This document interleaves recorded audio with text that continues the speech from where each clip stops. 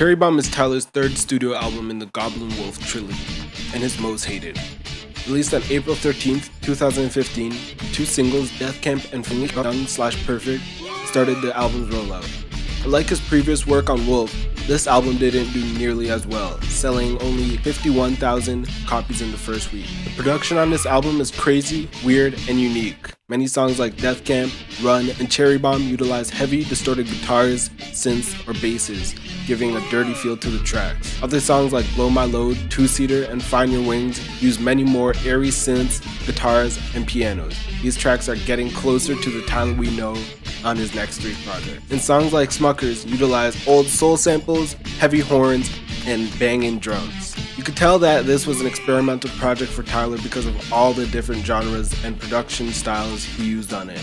And that is probably the main reason why most people don't enjoy it as much as Wolf because it's not as much of a cohesive project. I like the album. Not every song is great, but there are some good cuts.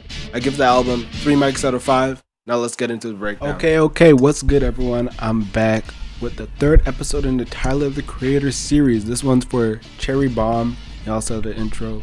Those intros, I'm really liking them. They're fun to make. So I don't really know if it has a Cherry Bomb vibe, but I listened to Cherry Bomb, the album, and then I made a beat. So I guess it's inspired by Cherry Bomb. Who knows? But let's break it down. Okay, so I was listening to Smuckers a lot. Wanted inspiration from that. Effing Young slash Perfect. Blow My Load. So I was taking inspiration from those. Started off with this piano.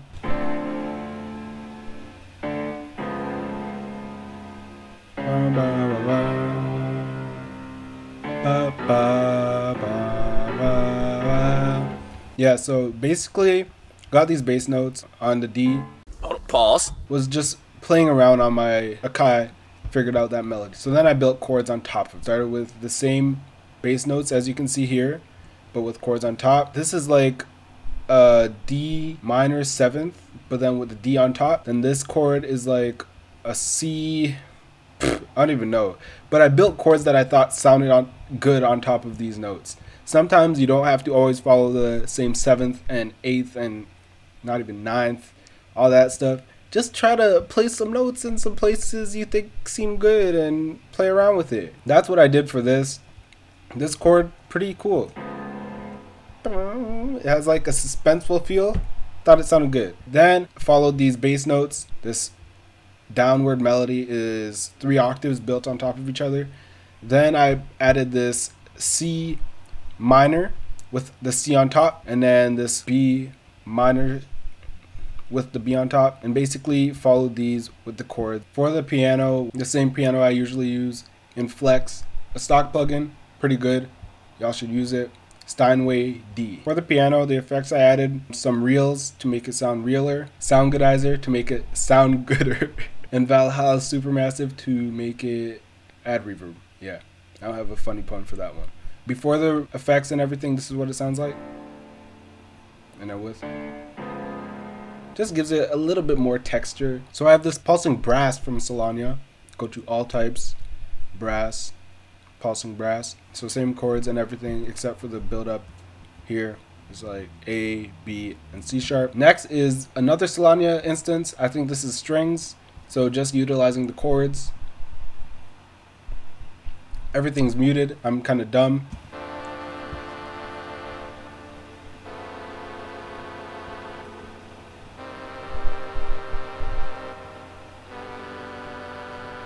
Exact same chords we use in the other presets, but this time it's just the chords, none of the extra melody stuff. This preset is called Oxygen 5. Next is the bells. So.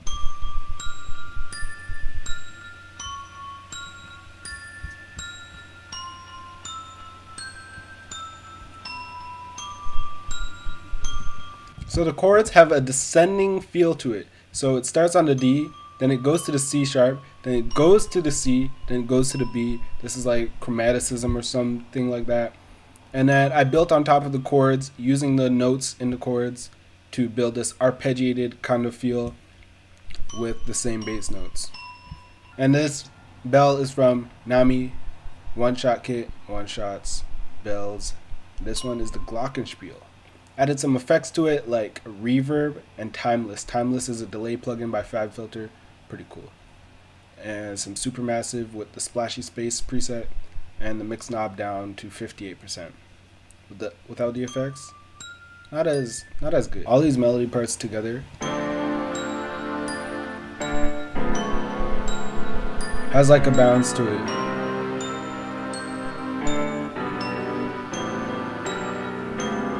Nextly, is that even a word? Nextly? Probably not. Added this another ARP. I used my Korg Minilogue, as you can see right here. Lifting up is probably not a good idea, but I'm doing it. You're welcome.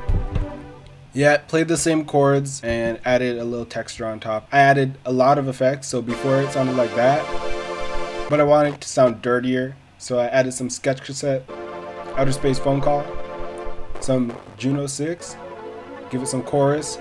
You hear it has some stereo separation, some FabFilter, EQ, cut out the lows, and then some pancake to pan it. Next, I added a bass.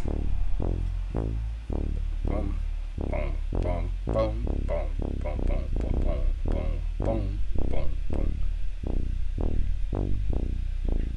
Similar to the Glockenspiel, use an arpeggiated feel copying the same notes. Pretty sure when I was making the full beat, I started off with this. I'm not I not 100% sure, but I think I started off with this and then built everything off of it. It's kind of like the backbone of everything. So, so far this is everything we have.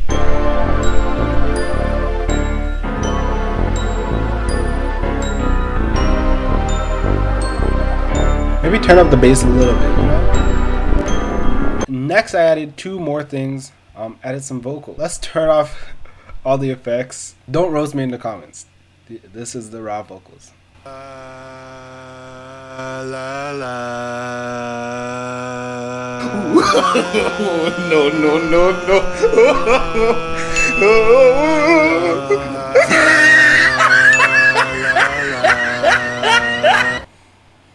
yeah. Uh, so I added a lot of effects to it. My vocals aren't horrible, but they aren't the best, you know? So added some effects to it. Melodyne, auto tune access, added some wider to make it wider, added some supermassive to add some reverb, some EQ, the glue. This is a really good compression plugin I've started using. And then Pancake to pan it. Play vocals. Right? Using the same chords. And this is basically all the melody parts together for the first section.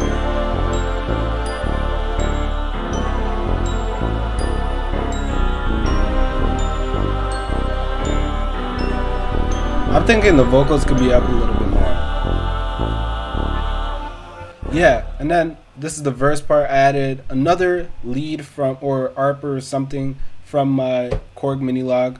Um, I just played out bum bum ba dum bum bum ba dum bum Bum, bum, ba bum, bum, ba bum. Using the same notes in each chord. This has also a lot of effects on it, called a bouncy thing. Um, without the effects, this is what it sounds like. Pretty similar, but then you add the effects. Timeless vibes, chorus, supermassive, small plus wide, and then pancake to panic. For the drums, I added hi-hats, kicks, snares. The hi-hat has a little off-kilter feel, right? These second notes, I shift them off beat a little bit. Pretty much all the same thing. I should have done this, all R, and randomized them a little bit, just to give them a little bit more difference so it's not all the same. All these drums, I'm pretty sure, are from the Lunch 77 Tyler the Creator drum kit. Because I'm making a Tyler the Creator beat. Added the snare from Smuckers. And then over here near the end, I added a little drum fill or a turnaround.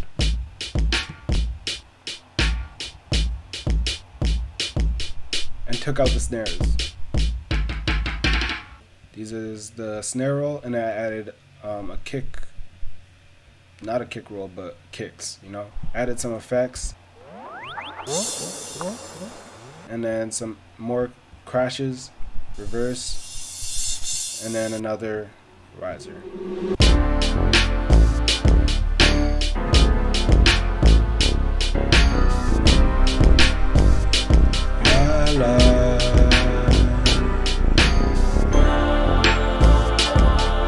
That little pause adds a lot of stuff to it. Like, just makes it more bouncier. And then we transition. As I said when I was making this beat, I was. But it adds a lot. It's kind of fire, right? So I added me saying to the bridge, layered three times. To the bridge. The lower one, this next one. Right? It basically, as you can see here, the automation turns up the pitch 24 semitones, so two octaves up. The last layer is this one. Um, to the bridge. It's my normal one pitched up a notch. All these together sound like this. To the bridge. A super cool effect. The transition to this part is so sick. So sick. Listen to this.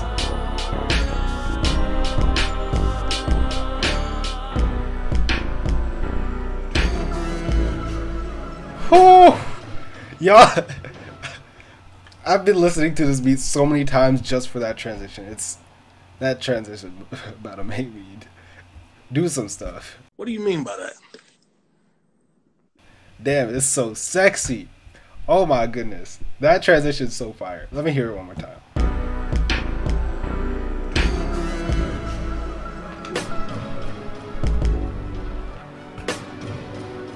Oh my goodness. Oh my.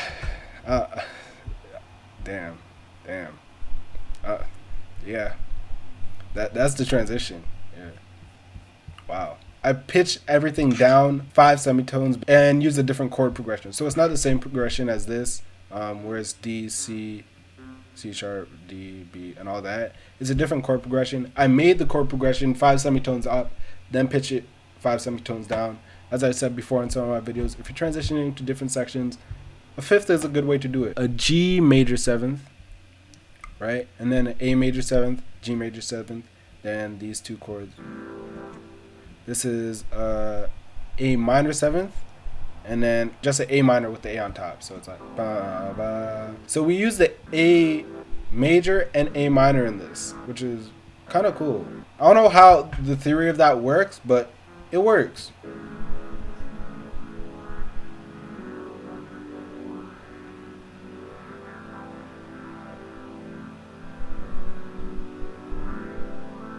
And this sound has no effects on it. I guess it's bust to the melody. I'm, I can't add that meme again. I do it too much. I do it too much. Y'all don't know what meme I'm talking about. Whenever I say buzz, okay, never mind. But yeah, every all the melody parts are bust, bust. melody with the FabFilter that cuts out the lows, and the stereo separation is on. The bass are on this deconstruction thing which adds some distortion. Drums are on this with the glue to compress all the drums, and the vocals have FabFilter to cut out the lows and the glue to basically glue them all together. So everything's rooted to those, and then those are rooted to the master track. So we have that layered with this.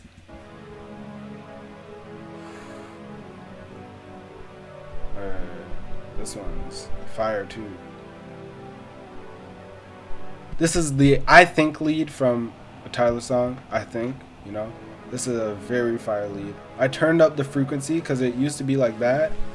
Turned down the frequency, so it's a little more cut off, subdued.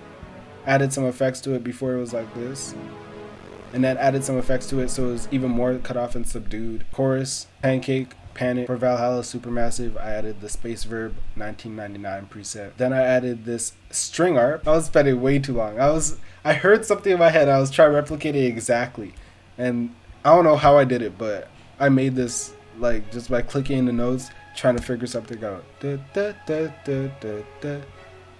And then this note from that happens at the same time as that first note. I don't know. I thought that was kind of cool, and then So that's basically how it goes. Then I added these vocals. This time it's the ah preset. Now they're going. Using the same chords.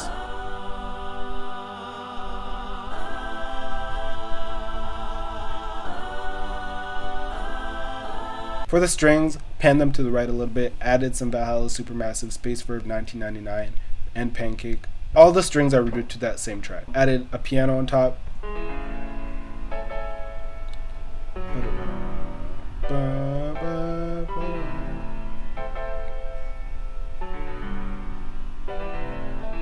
same chords as before. These are just strummed using Alt S, and then I strummed them backwards. I just heard this in my head and replicated it. Then these top notes. Da -da,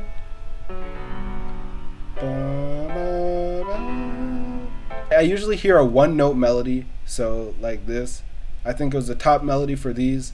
And then on the ones I need to build chords on, I build chords on. On the ones I don't need to build chords on, I don't. These are all the melodic parts together so far.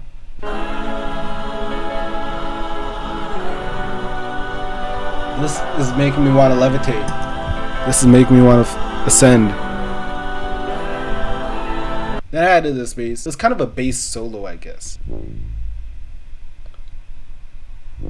Had that had this basic pattern, right?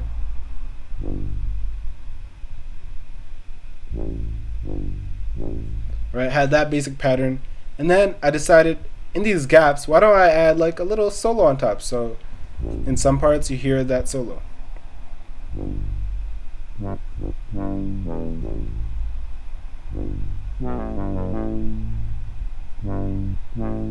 For most of the years I was playing on my MIDI keyboard, just some random things, and then I quantized them, made them not as offbeat because Have rhythm. During the end, I added some more melodic elements, so like this lead.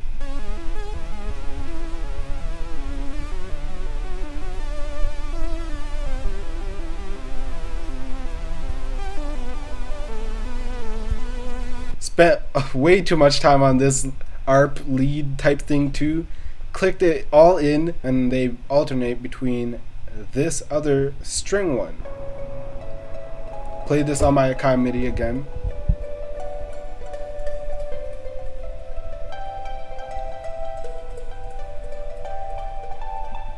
I added a bunch of effects to it. So Supermassive, this one was more as a delay, then this one was used more as a reverb. Splashy Space preset. That lead, pan to the right, has Pancake and Supermassive. So for the melody, I alternate between that harp and the lead. So that's basically pretty much it for all the melody parts. For the kicks and drums and stuff, added the same kick, layered two snares on top of each other, this Igor theme snare, Lorder Squad snare. Added a bunch of reverb to that one. Added a hi-hat.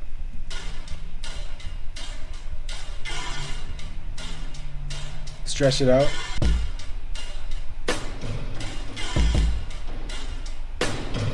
Then I added a little chant here. That's the classic Tyler the Creator, yeah. And then I added these these whats with a lot of reverb. That's pretty much it. The whats and yes go until the end. So this part's, I don't know, it's just heavenly. Wow. Wow. Wow. Wow. Yeah. I don't know what to say. Um, thank you guys for watching this video. It was really fun to make. I don't know why I'm standing up now, but I'm gonna keep on standing up for this intro. You guys probably can't see me as well, but it don't matter. Maybe I could like squat down like this, horse riding stance, giving myself a little workout. I've been sitting down a lot. But yeah, thank you guys for watching. Probably not a good idea to do this over the beat. It's gonna be really hard to edit. Oh, yeah, yeah, yeah. Okay, yeah, yeah. This will be like a bloopers. Thank you guys for watching. I don't know why I'm standing now, but I am. Leave a like, comment what types of beats you want to see me do next. Subscribe. I need more subscribers just because I want them. Turn on those post notifications to see when I upload next. Have a great day and peace.